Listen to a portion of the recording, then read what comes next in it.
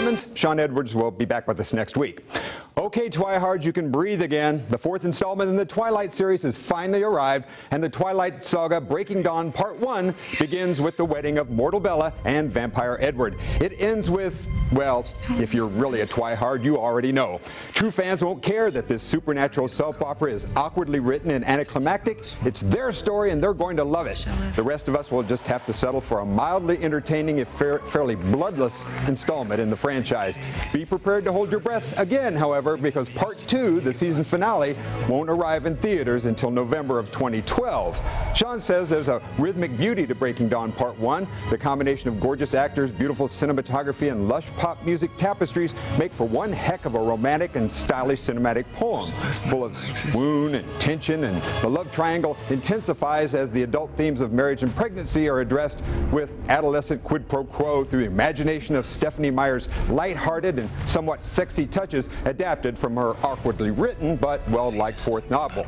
Juicy on a Gossip Girl level, fun if you're a part of the real-world generation, and truth in advertising if you worship the Kardashians.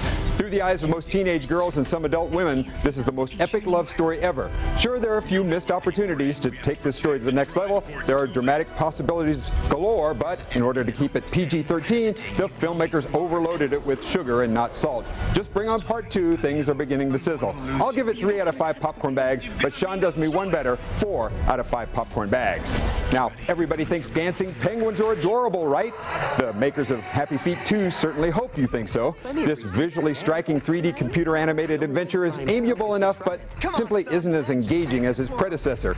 Still, it has enough family-friendly attributes to please the kids, and Brad Pitt and Matt Damon are pretty funny as a couple of wisecracking krill. Shawn says cute.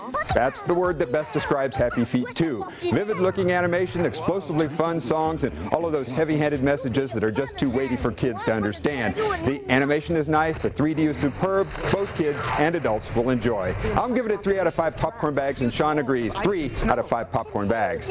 Like Crazy is one of those self-consciously quirky indie flicks that sometimes make a noise at the Sundance Film Festival. Anton Yelchin and Felicity Jones play college lovers whose romance is thwarted by immaturity and immigration laws. The appealing actors make this lightweight romance seem a lot better than it actually is. Shawn says Like Crazy is an unsympathetic love story, realistic, somewhat passionate, but too unsettling to be fun. Overall, it thrives on realism, but struggles to connect in the way that 500 Days of Summer did a couple of years ago, or the truly having the sting of Blue Valentine last year. I'll give it 3 out of 5 popcorn bags, and Shawn's there with me, 3 out of 5 popcorn bags. Also in theaters, Antonio Banderas stars in the creepy art house entry The Skin I Live In, and The Other F Word is a documentary about punk rock dads. Alexander Payne double feature will be a fundraiser for the KC Women in Film and TV. Election and The Descendants will be Sunday, November 20th at the Screenland Crossroads. More information is available at fox4kc.com, which is where you can see all our reviews and interviews. And while you're there, click on the Entertainment tab uh, and see our reviews, and then click on the Contest tab to win tickets to see the upcoming movie New Year's Eve. Fox4kc.com. Until next week, I'm Russ Simmons in the screening room. He didn't use anything up here.